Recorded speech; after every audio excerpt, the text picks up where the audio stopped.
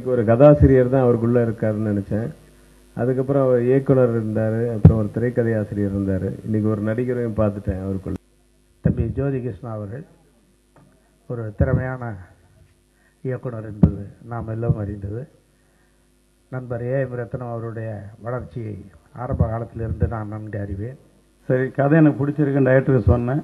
இதில் யார் வந்து நடிக்கணும்? முதல்ல சொன்ன சிவாஜி சார் தான் நடிக்கணும்னு சொல்லி சிவாஜி சார் சொல்லி சும்மாவே நம்மள அசிங்கமா பேசுங்க வீட்டுல இருக்கிறதுக்கு அடி வாங்கிட்டோம்னா இன்னும் கேவலமா போகும்.